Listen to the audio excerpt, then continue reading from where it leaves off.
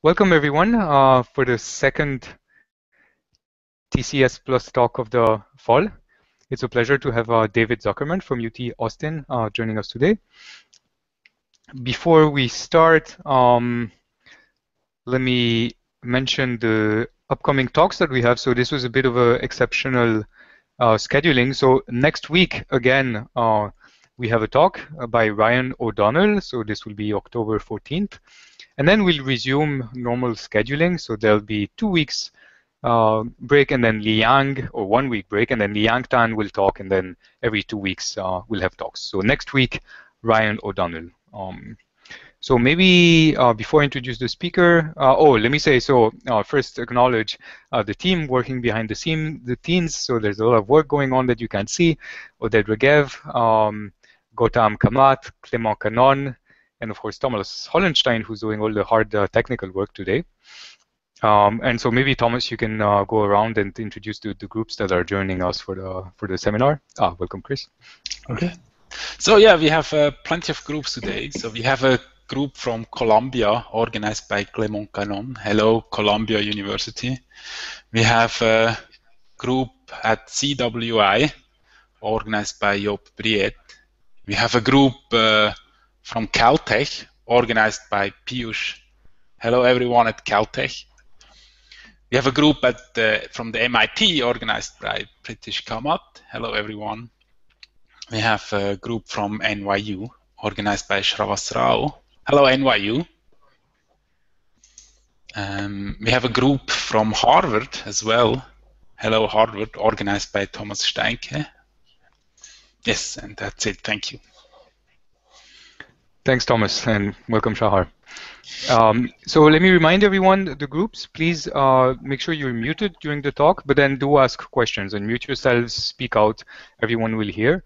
We're also testing a new feature today. Um, for those of you watching the YouTube video from our website on Google, there's a little IRC chat channel below it, and you can just log in there and ask questions. We'll be monitoring it, so feel free to say uh, any any thoughts that we that you have, and we'll relay them to the speaker.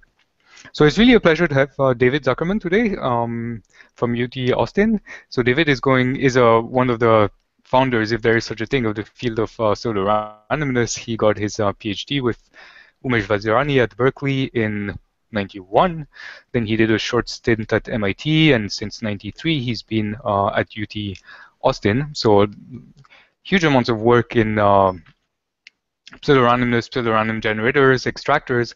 And today it's really a pleasure uh, to hear David talk about his latest result with his uh, student, Esh, um, I should have asked how, so Eshan Chattopadhyay, uh, on constructions of uh, two-source extractors that, that break the what had been the state of the art for a long time. David is going to tell us more about this. Uh, so welcome, David. Thank you. And, and, thanks. And thanks to all the organizers for all your help. Um, yeah, it's pronounced Ishan Chattopadhyay, or that's my best pronunciation. Aha. So I apologize for that. Uh, Ishan. Um, okay. Um, thank you and welcome everybody. Um, so this topic is motivated by the amazing utility of randomness in computing.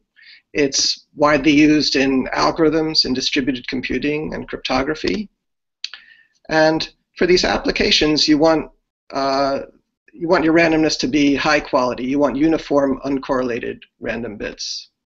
So in fact, uh, Dodis et al. showed that uh, various cryptographic tasks like bit commitment, zero knowledge, won't work even if your bits are pretty close to, to random. Um, and of course, it, when you're analyzing a typical randomized algorithm, you assume that you have uniformly random bits that are uncorrelated and independent.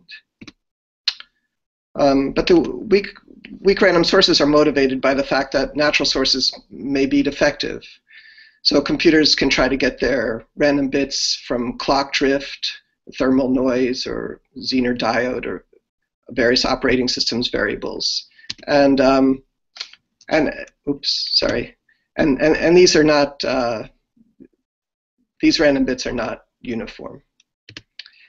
And weak, weak random sources arise in other situations as well. So even if you start with uniform random bits, if an adversary learns something about your random bits, then conditioned on the adversary's information, what you have is a weak random source.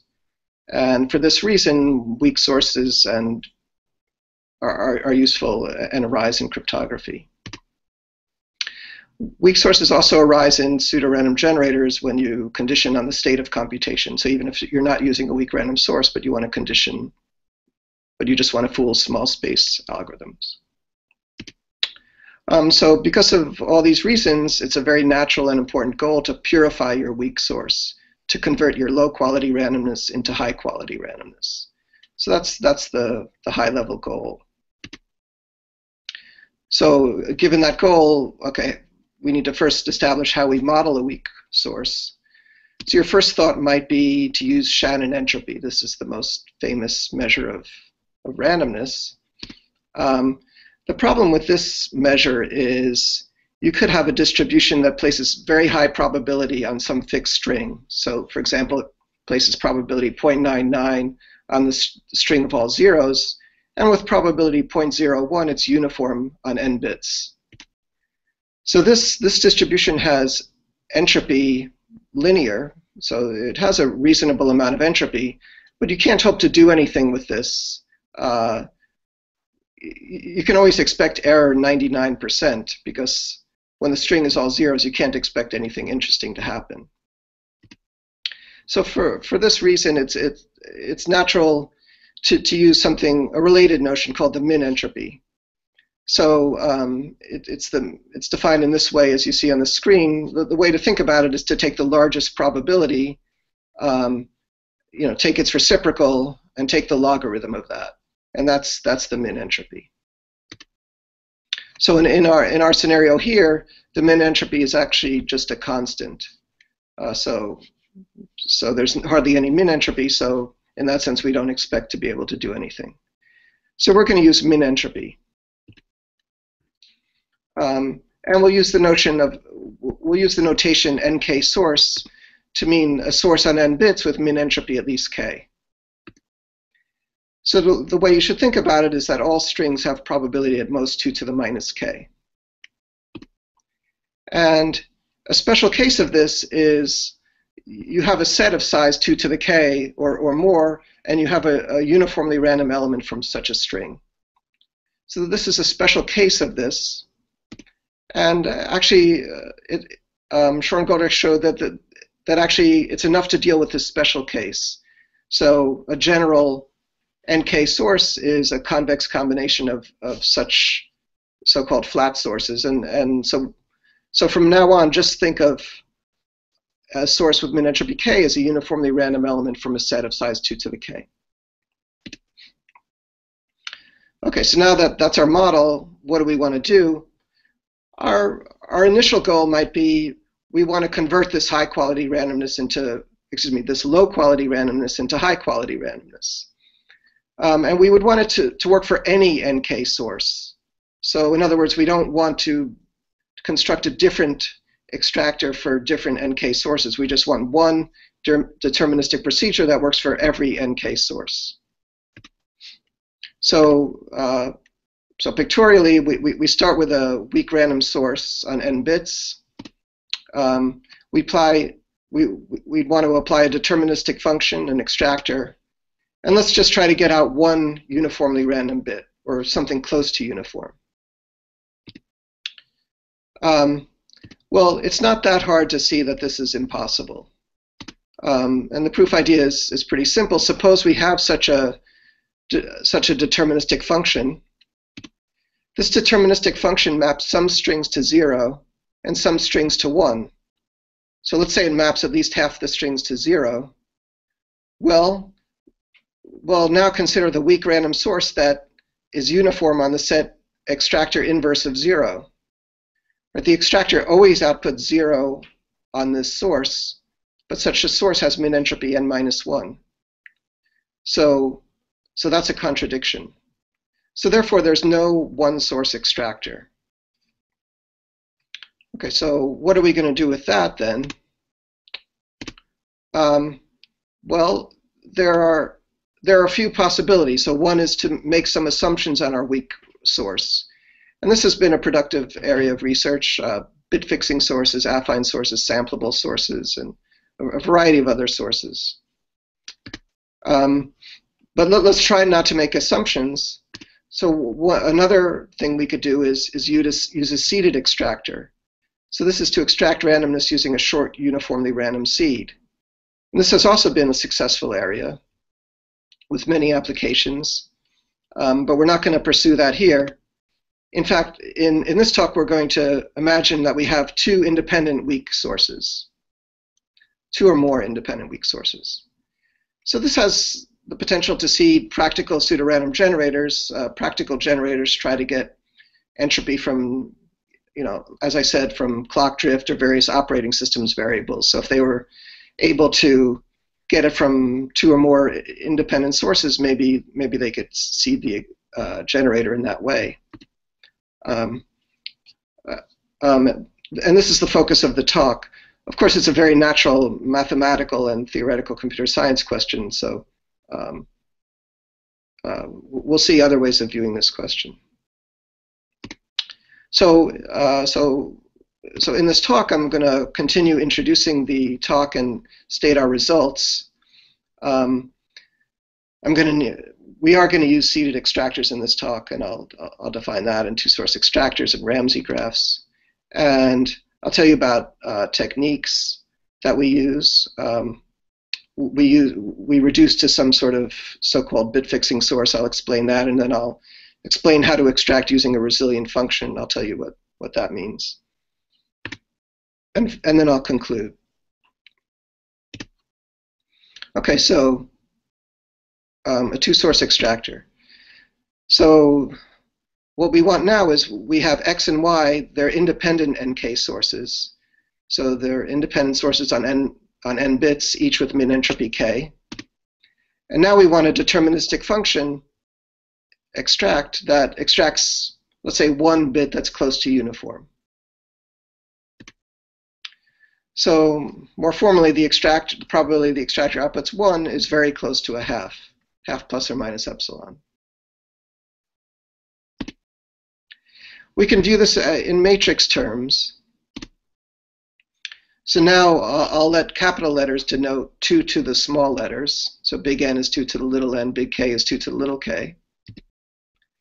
And um, we can reformulate this as constructing a big N by big N matrix such that every big K by K, big K submatrix is roughly balanced. It contains a, an almost equal number of zeros and ones. So you can see the equivalence in that one source, say x, picks out a subset of the rows.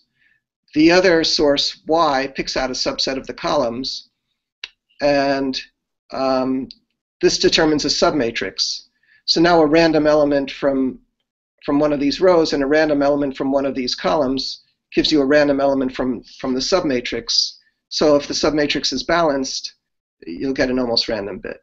And it's not hard to see this is equivalent. It's also not that hard to use the probabilistic method to show that when k is, is about 2 log n, uh, that such matrices exist. So in fact, most matrices have the property that um, that any 2 log n by 2 log n submatrix is close to balanced. But we want to construct it explicitly, right? A, an existence argument for an extractor doesn't help if we want an actual extractor. We want, we really want an efficient, explicit extractor. So this was uh, motivated in, in an earlier model by Santha and Vazirani, and, and, and Chor and Goldreich asked it in a very similar model. You know, we want an explicit two-source extractor. And again, so now, um, again, by the probabilistic method, it's not hard to show that we have a two-source extractor for min entropy about log n. So now, now we're back to the little letters. So these are the log of the big letters. So so um, this little n is log of, you know, uh, uh, right? We had um, before it was log. Before we had k being log of, excuse me, two log big N, and now we have little k equal uh, log of little n plus constant. So, so what's known about explicit constructions? Um, okay, so if both sources have min entropy bigger than n over 2, Chor and Goldreich observed that the classic Lindsey's lemma works. In fact, any Hadamard matrix, like just doing the inner product, gives you an extractor for min entropy bigger than n over 2. Um, and this was the best known for, for some time uh, until 17 years later, Bourgain used additive combinatorics to uh, give a construction where the min entropy just needed to be 0.49 n. So he shaved just a little bit. Um, also, Ran Raz showed that both sources don't need to be n over 2. It's enough if just one is n over 2. The other could just be a constant times log n. But it remained an elusive goal to get both sources um, to have small entropy. And um, because of that, people worked on trying to construct explicit C-source extractors. So Barak Impagliazzo Wigderson showed that uh, uh, you can use a constant number of sources um, and extract with min entropy some constant times n. Rao improved this um, to show a constant number of sources with min entropy, just any small polynomial, any polynomial, n to the gamma. And finally, uh, Li, in several works, uh, showed that you can actually just extract from three sources with min entropy polylog n. And this is a great result, uh, but just bear in mind if you convert this to, say, a matrix, now you'll have a, a, a tensor. So really two sources uh, is sort of special because it corresponds to matrices and, and graphs. And in our main result, we, we give an explicit two-source extractor when k is just polylog n for, for a large enough constant c, like about 74. Um, so uh, going back to, to this, so we, we improved this to just polylog n bits, and the output length is, we showed how to extract one bit. And then Li built on our work uh, to show how to extract many bits uh, close to the min entropy. Our work has consequences for Ramsey graphs. What's a Ramsey graph? A K-Ramsey graph is a graph with no independent set or clique of size k. And a bipartite K-Ramsey graph is a bipartite graph with no complete or empty k by k subgraph. So it's the bipartite analog. The bipartite version is harder to construct. Erdős in, in the first, or one of the first uses of, of the probabilistic method showed that K-Ramsey graphs exists on n vertices when k is uh, about 2 log n. But again, can we construct things, can we construct Ramsey graphs explicitly? So a lot of people have worked on this. Oh, before that, um, just pictorially, what we have, you can think of two coloring the edges of the complete bipartite graph, red and green. And if you pick any two sets of size big K, there's approximately the same, same number of red edges between these two sets as green edges between these two sets. So this has been worked on by, by various people for a long time. Again, the Hadamard matrix gives you square root big N. This corresponds to linear min entropy, 2 to the little n over 2. Um, and it was a, a major result when Frankl and Wilson got, got uh, got subpolynomials, so 2 to the square root, roughly 2 to the square root log n. And then there were a variety of constructions matching this bound, and uh, Gopalan helped ex explain why they meet this bound. Um, and so th this was a very nice result, but th these don't give bipartite graphs. Um, in the bipart bipartite setting, it was still a struggle to get below square root n, but they did. Um, and then Barak et al. managed to get subpolynomial and uh, a different Barak et al., Barak, Rao, Shaltiel, Wigderson, got 2 to the log n to the little o of 1. And um, that was the best known until until Cohen independently uh, and, and we achieved 2 to the poly log log. So that's a corollary of our work. So, in fact, in our right in our work, we want these graphs to be to be approximately balanced. Ramsey graph is a weaker notion where you just don't want all red edges or all green edges.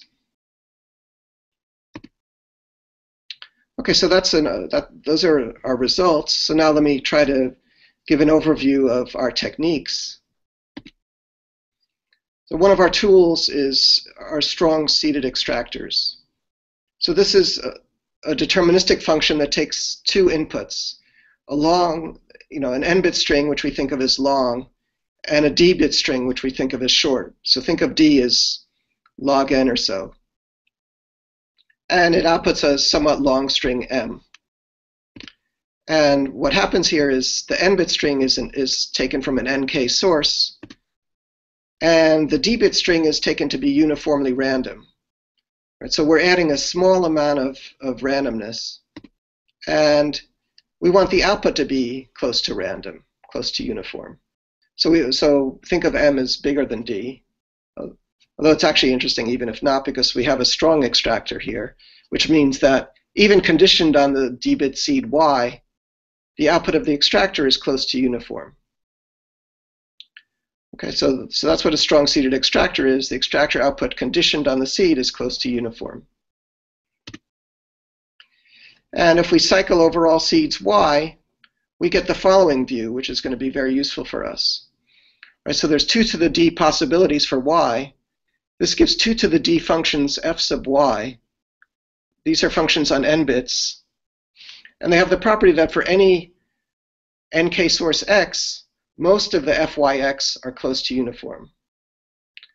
Of course, for different x, there you know it will be a different subset of the fy's which are close to uniform. But it's always the case that for any nk source x, most of the fy are close to uniform. And that's that's the property we want.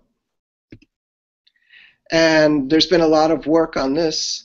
Um, the explicit now the state of the art, we just need a, the c to be logarithmic in n and 1 over epsilon. And we could output almost all the randomness. Our other ingredient is a resilient function. Uh, these are surprising functions. Uh, so a resilient function is a Boolean function with the following property. We're going to think of an adversary controlling a bunch of the coordinates. So um, for any subset of q coordinates that the adversary controls, um, um, think of the adversary acting last. So we're going to sample the, the coordinates that the adversary does not control. So we're going to sample almost all the coordinates except for q. And what we'd like is that the is that the function is fixed by from these other coordinates because we don't want the adversary to have any control. If the function is not fixed, that means the adversary can decide which function to choose. So we want to say if we uniformly random, randomly sample most of the coordinates, uh, with high probability the function is fixed. So let's look at an example. For example, majority uh, is resilient up to up to an adversary controlling n to the 0.49 um, coordinates. This is because, you know, if you flip n random bits, you have a standard deviation square root n. So even if an adversary tries to uh, set all of the coordinates under its control to 1 or all of them to 0, it probably won't change the function. So majority uh, is resilient up to close to square root n. On the other hand, parity is terrible because even if an adversary just controls one coordinate, uh, it has complete control. So it's not, not even one epsilon resilient for any epsilon less than one. So just to clarify, sorry, the definition, so it's for any uh, subset of q coordinates and for any fixing of these values, the probability is larger than 1 minus epsilon. Well, right? Well, the, the adversary gets to choose its values after seeing what the um, what the other player, what the remaining coordinates are set to. Right. So you do. Oh, I see. S six. Okay. Yeah. Thanks. Okay. Sure. Okay. Right. Okay. Right. Yeah. So, so that's important. So a preliminary attempt. Um, at a two, here's a preliminary attempt at a two-source extractor. In fact, it's an attempt at a one-source extractor, so it can't possibly work, but let's take a look. We'll start with a strong seeded extractor. Um, it works for min entropy k and error epsilon. And again, we're, we can take k to be quite small here, and d to be just logarithmic. x is an nk source, and now we'll we'll apply we'll we'll cycle over all seeds. So we get two to the little d functions, which we'll call capital D, which is polynomial. We're thinking of epsilon as 1 over polynomial. So we get a polynomial number of functions, and most of these functions produce a bit that's close to, to uniform. Okay, so the ith bit is just the extractor on x and the ith seed. And again, the bad bits can depend on the good bits. That's, that's a big problem. But again, let's try something like majority um, to get a, a bit B. Of course, this doesn't work because the, the it doesn't work for several reasons. One reason is that the uniform bits are arbitrarily correlated. So maybe they're all equal, for example. So the majority isn't going to help us, uh, right? So if maybe n over 2 plus 1 of the bits are 1 and n over 2 minus 1 of, of the bits are zero, and the adversary has uh, has very high control. Um, so to get around this, an important tool is non are non-malleable extractors. This is a strengthening of a strong extractor. So again, it's the same setup. It, it takes two inputs, a long n and a short d. Um, I won't I won't give the actual definition, but a corollary um, is the following. Um, so just as in a strong extractor, we get capital D functions, think of a polynomial or so, we get capital D functions fy such that for any nk source x, most of the fy are close to uniform. So that's what we had with the strong extractor. But now we have this extra condition that, that the good fy of x are almost t-wise independent. So this is a much stronger condition. And in very recent work by Chattopadhyay, Goyal, and Li, uh, they gave a, an explicit construction where D is um, just some polylog value times polynomial in T. So you should think of T as being polylog. Um, so this gives you gives us just using a polylog n bit seed. When k is polylogarithmic, so we have a polylogarithmic min entropy, the output length is, is linear, although we're not going to care about the output length really. Um, so, so this is a very nice construction. So now with this strengthening, it's natural to try the same approach. So, so, sorry, David, can I again ask a simple clarification? So by good fy are t-wise independent, you mean that um, among the good y's, if you select any t of them, then the distribution, the, the, the T uniform, approximately uniforms that you have are approximately independent. Right, yeah, Is thank that right? you. Yeah, so I the T refers to T of the Y's, okay. Right, I should have defined T-wise independent. T, T-wise independent means any, if you look at any T coordinates, they're independent. So almost T-wise independent means you, if any T of these is very close to independent. And that's, that's the situation we have. Thanks. So that motivates our second attempt. Let's just use non-malleable extractors. So we'll make the uniform bits almost T-wise independent. We'll use the non-malleable extractor I just described. So it's the same exact uh, idea, except now we'll use the non-malleable extractor. Um, now D is going to be quasi-polynomial, but let's not worry about that for the moment. And uh, not surprisingly, this doesn't work. Uh, we, the number of bad bits is going to end up being bigger than square root d. And again, we can't even hope that this works because we only have one source. So our approach at a very high level is the following. Um, our first step is to use x and y to construct a string z on a polynomial number of bits such that almost all the bits are uniform and polylog-wise independent. And then our, our second step is an explicit extractor for this string z. We won't be able to use majority, we'll have to use something else. Okay, so um, so let's see what we're doing. Okay, so when we um, so let's look at our where we were trying to execute step one. We took this nk source, we applied our non-malleable extractor, we got this quasi-polynomially big string where the good bits are almost t-wise independent. Um, and the number of bad indices is, is pretty small. So think of epsilon as 1 over polynomial. So it's, it's small, but it's not super small given that d is actually quasi-polynomial. So, um, so to make, to make the number of bad indices really small, what we're going to do is, is sample a pseudo-random subset of this string. Okay, and so let's look at that. Well, it doesn't matter. Okay, so now the reason this is going to help us is, um, you know, this fraction of bad indices was was pretty small, like one over polynomial, but we had a quasi-polynomially long string.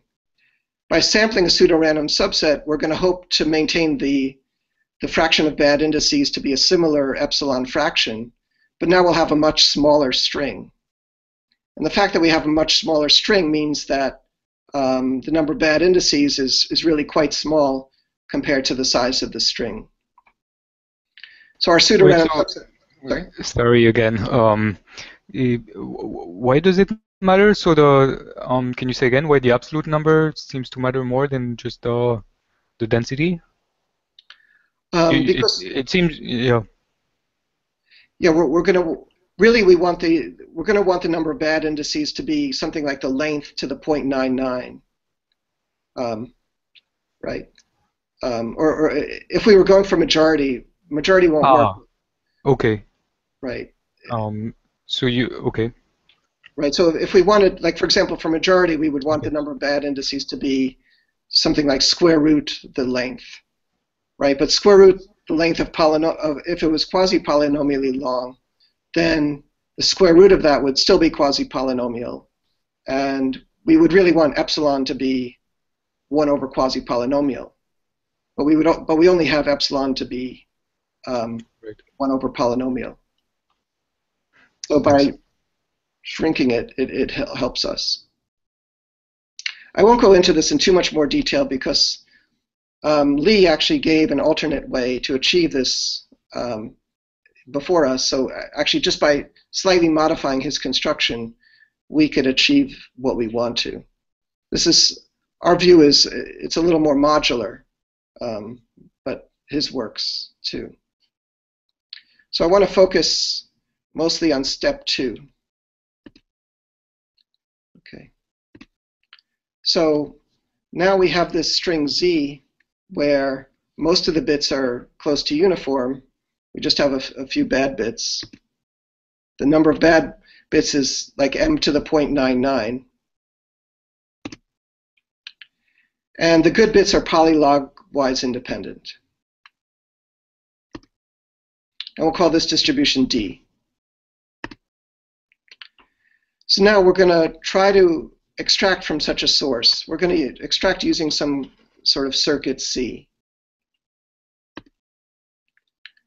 And again, we're going to be interested in the probability that C is not fixed by the good bits. We want it to be fixed by the good bits because we don't want the adversary to have control. Okay, so let's. So our, our first step is even the, the good bits are polylog-wise independent, but we're going to show that for the purposes of analysis, we can assume that they're um, completely uniform and independent. Um, and we're going to, this, there are two ideas here. So the first idea is that we can test whether C of x is fixed by a, a similar looking circuit. So if C is monotone. So for this reason, we're going to look for a monotone circuit. So if C is monotone, then by just comparing, if we substitute in 0 for the adversary's values versus 1 for the adversary's values, right? The only way, if these are different, then the adversary has control. But if these are the same, then the adversary can't do anything. because then these will be equal no matter what the adversary chooses. Zero, all zeros and all ones are the two extreme values. So we can just compare the all zero and the all one string. So if C is monotone, then the probability that C is not fixed equals the probability that C prime of x is 1. It's just the probability that C of x with the 0 string is different than C of x with the 1 string. And now the other idea is to use Braverman's result. Braverman showed that for any function in AC0, AC0 again is constant depth polynomial size circuits. So he showed that if for any function in AC0, the probability, um, excuse me, this is fooled by polylogwise independence.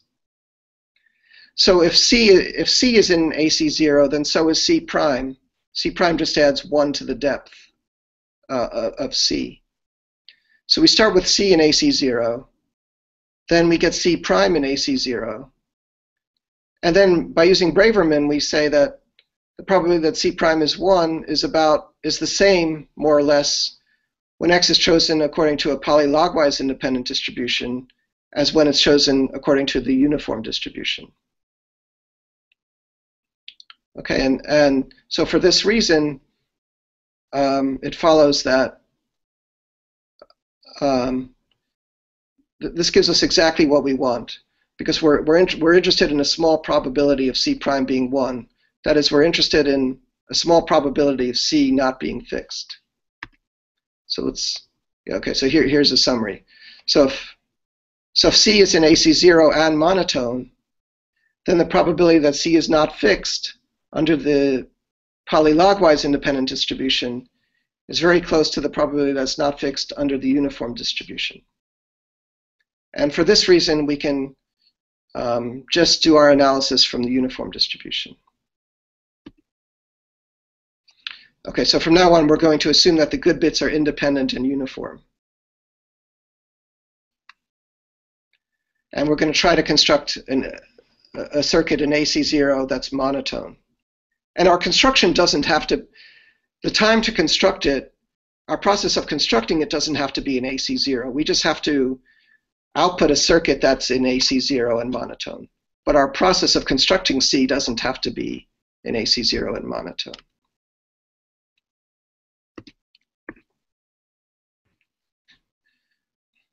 So, so again, our remaining task is to construct a monotone circuit in AC0 on m bits such that C is resilient against m to the 0.99 bad players, and it's almost unbiased. So it should be close to 50-50 of being 0 and 1.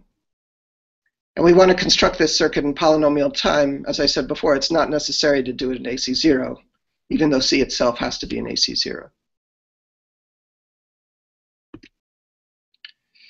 And we're going to construct this circuit C by de-randomizing Ajtai-Linial. So let me tell you about Ajtai-Linial. Um, this is a function that's resilient to coalitions of size n over log squared n. So you might think, your first thought might be that majority is the most resilient function. It, it seems very natural, but it turns out you can actually do much better. This Ajtai-Linial function can tolerate some small constant times n over log squared n bad players. So majority also you don't have in AC0, right? Or... And majority is not in AC0. That's another problem. So the Ajtai-Linial function, I got cut off a little. It's, it's based on what we call the tribes function. So tribes function is just a DNF on, on disjoint variables. So think of um, tribes of size about log n. So it's just, so these are ands of log n variables and we take an OR of these n over log n tribes, and um, and that's a tribe. The Ajtai-Linial function is not a tribe. A tribe is not resilient because if an adversary just controls a tribe, it can always force the function to one. What Ajtai-Linial did is say they took the and of a, of a bunch of tribes, where these tribes are are um, computed on different partitions. And And not only are they computed on different partitions, but you randomly negate some of the variables. So some intuition is roughly that, and it's hard for an adversary, right? An adversary's goal is sort of to control a tribe, or else to control one player in each in each in each tribe. But that's a lot of bits, right? That's n over log n bits to control one bit in each tribe. So it's easier for an adversary to control a tribe. But if these but if these um, partitions are are nice looking, it's going to be hard for the adversary to control a tribe in each of the um, partitions. And uh, the, again, they showed this n over log squared n bound.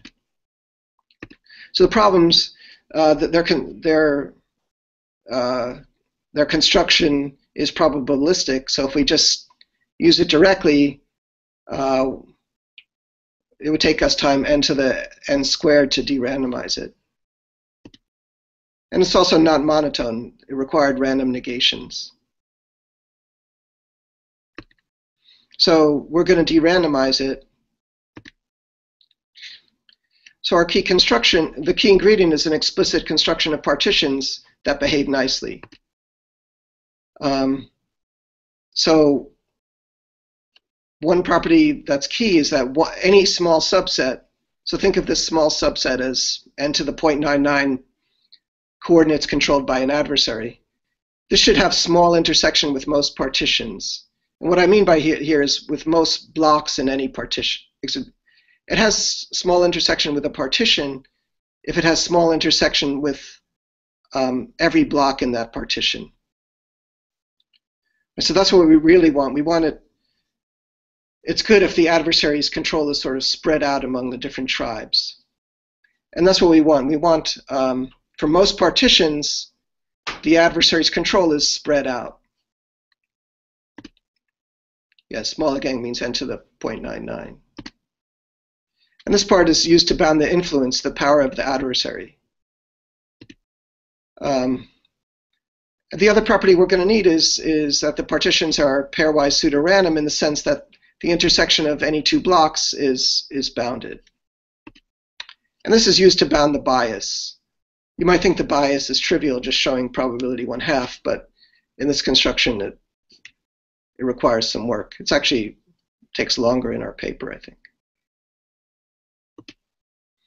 Okay, so, so how do we construct this pseudorandom collection of partitions?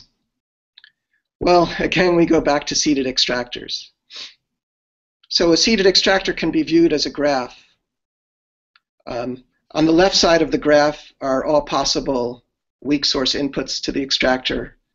And on the right side are all possible outputs of the extractor.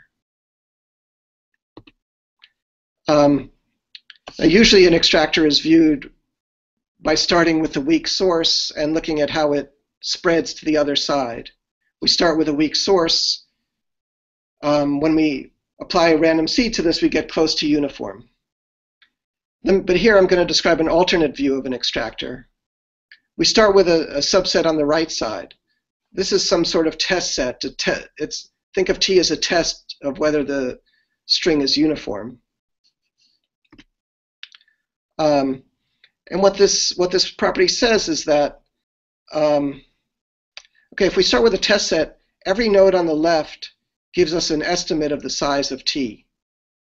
In particular, er, just the fraction of its neighbors that land in T right? So the so that so each node on the left, that fraction, the fraction of neighbors that land in T gives us an estimate of the fractional size of T. And we'll say a node is bad if if this estimate is is larger than is larger by epsilon than it should be.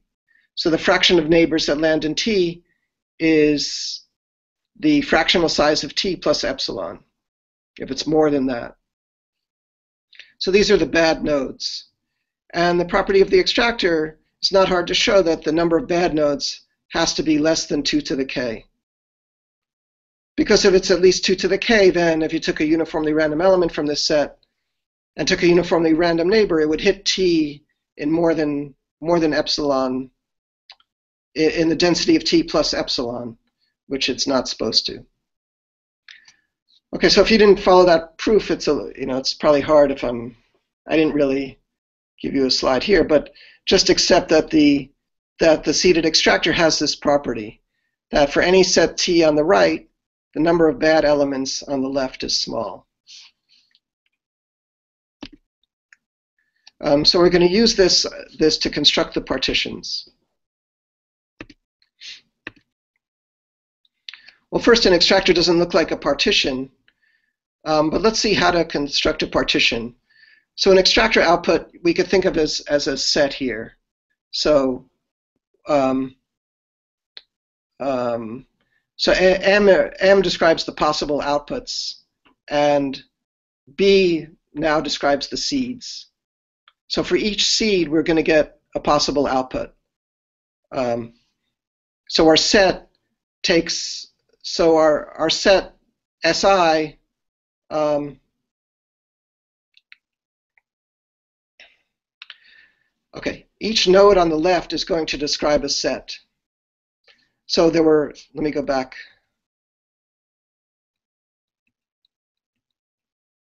There are nodes on the left, and we're going to get R sets. Okay, so each set, we can think of each set as, as being described by the, its neighbors. So there are going to be R sets, and each set is described by, so 1 refers to seed number 1, and then I1 refers to what, what the extractor does on seed number 1.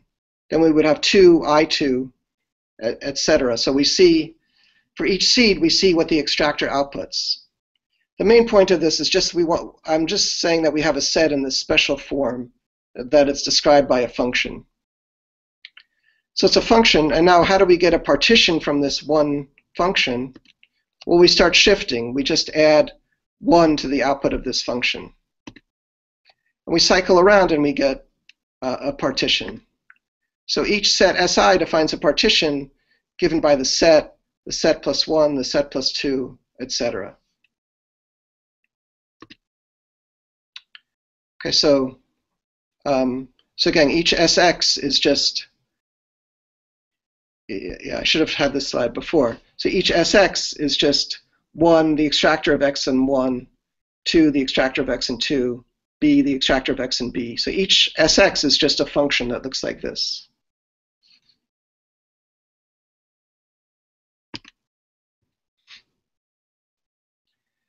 And the properties that we require are, again, that any any set T of bad coordinates of size at most n to the 0.99 has small intersection with partitions.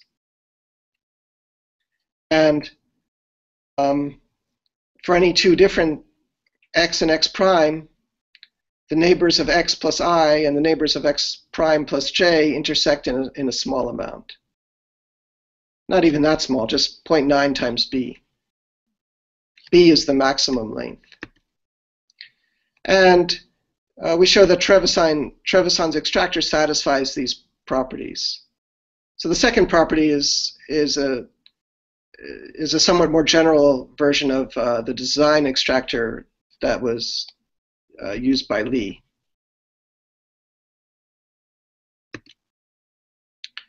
Um, so that's a high-level view. I'll just state some more ingredients that go in our analysis. Um, well, we give a new way of analyzing the bias.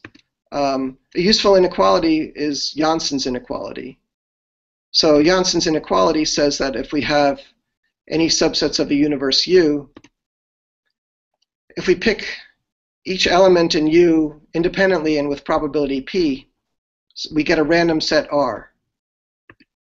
And if the SIs are small and have low pairwise, inter pairwise intersection, then the probability that all the SIs are not contained in R is similar to the product of these probabilities. So this is useful in analyzing the bias, and it's a useful inequality that maybe uh, should be used more. So since our work, there have been a, a few follow-up papers. So Li used our construction to give an explicit affine extractor for polylog min entropy. also showed how to improve our output length to 0.9 times the entropy. And Meka gave an explicit resilient function matching the Ajtai-Linial bound of n over log squared n. Um, and he also improved the constant. You know, our, our, construction worked for entropy like log log n to the 74, and now he has it down to something like log n to the 10 for constant error or log n to the 18th for polynomially small error. So open questions. Um, one nice thing would be to try to get negligible error. We achieved error like 1 over polynomial, which is not enough for cryptographic applications. And what about min entropy constant times log n? This would give, um, this is kind of special because it would give Ramsey graphs, it would give poly log n Ramsey graphs instead of 2 to the poly log log. Um, although if the min entropy C log n, we can't hope for negligible error, but even for Ramsey graphs, we just need any non-trivial error. And maybe most interestingly or intriguingly is to give more applications. Can we uh, can we use these results or techniques elsewhere? Um, right. So affine extractors were used in circuit lower bounds. Can we can we get uh, more circuit lower bounds? You know, there's a variety of things that might be useful. Okay, and that's it. Any questions? Thanks. Um, I'm the only one who's unmuted, so uh, I'm sure everyone's clapping. Um, questions from the audience? So, audiences. We have time, so feel free to ask uh, questions. Maybe I can get us started. I was I was curious about the error because it didn't really show up explicitly during the talk. And so, so can I? So so so first the um, so this exponent in the uh, n that you achieve, how does it um, relate to the parameters? So if I want n cubed instead of n squared or something, how is that going to show up in the also exponent that I need uh, in the polylog for the source, or am I just stuck at whatever value you have, or? Oh, I see. Um, yeah, that's a good question. That's I guess maybe the the second question, which is the same, maybe is just how can you just say a few words on how it comes in, uh, the error, how you get whatever you get. Right. So so actually we got error originally we got error n to the minus 0.01, so just some small error, but uh, Li showed that actually basically the same. Uh, a small modification gives gives any polynomially small error. Um, and so the any polynomial is small, then then um, how is it going to affect the requirements? Right. Um, um, I'd have to take a look. I, am not sure it, it affects it that much. Um, okay. So there is no way, standard way to boost this. Um, no, I don't think it's. I don't think you can sort of I don't think if you're given just a general extractor that achieves error 1 over n squared, you could boost it to 1 over n cubed. I mean, with seeded extractors, there is a way to do that, but I don't think there's a way in general to do that. And so, can you is it is it possible to say something about the the bottleneck there? So, what what you know what got you n to the point minus point one, and yeah, the problem, the, the, bottleneck is the resilient function. So the, the error for the resilient function, like even if there's, so, um, so we were dealing with strings of length m, and even if the adversary just controls one, one coordinate, the adversary should have, should be able to make the error at least one over m. In fact, by a more complicated, you know, Linial, it's really log m over m. But besides that, just right. So the adversary and the adversary controls m to the 0.99 coordinates. So you'd expect the adversary the error to be something like 1 over m to the 0.01. So all you, so a way to reduce the error is just to make m bigger. That's all. Um, and um, um, but but you can't make m bigger than m can be at most at most polynomially large, so the error is going to be at most is going to be at least 1 over m, which is still 1 over polynomial. So if there were a way to get to somehow implicitly get a circuit to operate on, on bigger strings, maybe we could do something. But the bottleneck is in the resilient function. Hmm. Uh, just a question, existentially, how small can the error be made? Exponential? Yeah, it should be exponential in, in k, something like 1 over 2 to the k. Uh, but it won't. It will be something like you know poly in n, poly in n over 2 to the k. So when k is at least, yeah, so maybe it's something like uh, you know n squared over 2 to the k. So when when k is bigger than 2 log n, it starts getting exponentially small. something like that. Um, so yeah, so it would be nice to achieve to achieve exponentially small error in k.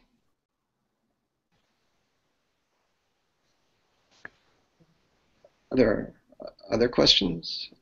David, uh, is, is Meka's construction uh, monotone? Yeah.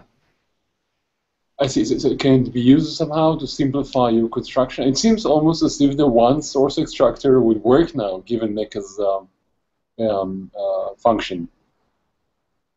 No, well, we know it can't. Uh, so, um, no, again, there's the problem with the error that we. Um, right. So so we're still using the non-malleable extractor that, that has a seed of length uh, polylog n. So um, if we just tried the one source extractor, we would have a string of length quasi-polynomially long. And again, a, like a 1 over polynomial fraction of these bits would be bad. Um, I see. Oh, but you're saying that then, uh, I see what you're saying. Right. Um, there's also the issue of the almost polylog n wise independence that um, right it's almost but but that that error with the almost will mess you up if you if you don't look at a subset. That's another problem. So if you um, yeah it's it's not going to work because of the almost polylog right. thanks Any any other questions?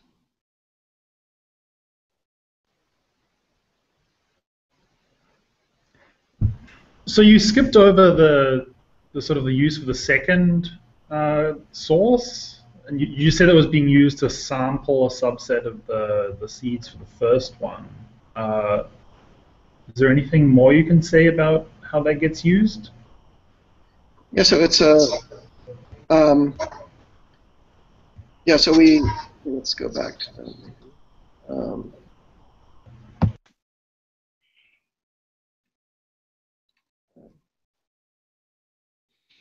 okay, so um, yeah, we're sampling. So here again, we're going to we use a seeded extractor to do the sampling with the other source. So um, um, again, it has now we're using this sampling property of, of an extractor, that an extractor is a good sampler.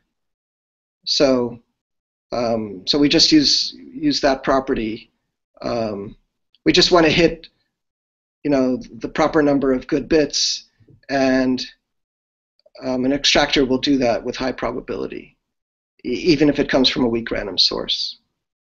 So, so we're just using that sort of basic property, the, the sampling property well, it's, it's I guess it's a combination because we want it to be a good sampler even even when the value is chosen from a weak random source. But we'll we'll have you know we'll have um, we'll use an ex, you know we want our we'll use an extractor that works actually for entropy k over two. So our extractor is is, is really good. We have min entropy k, and that sort of allows us to, to do the sampling.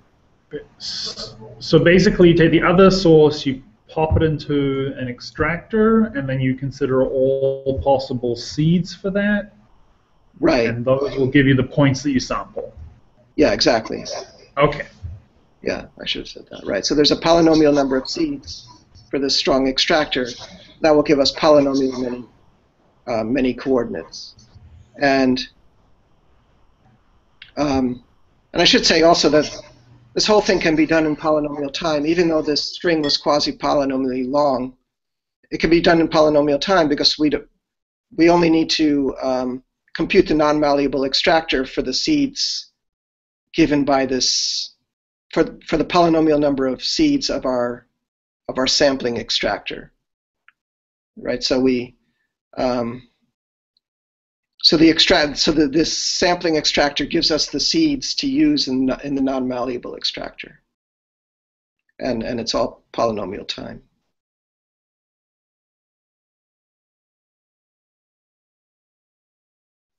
Are there Thanks. any other questions?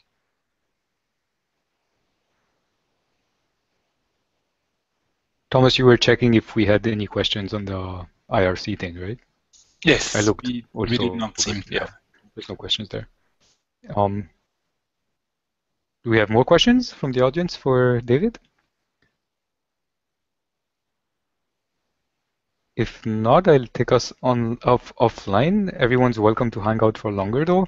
Uh, let me just remind our viewers that next week uh, we have a talk again by Ryan O'Donnell um, from CMU, who will tell us uh, how to refute a random CSP. Um, okay, so before we go offline, thanks a lot, uh, David Zuckerman, uh, for the talk, and uh, we'll see you all next week.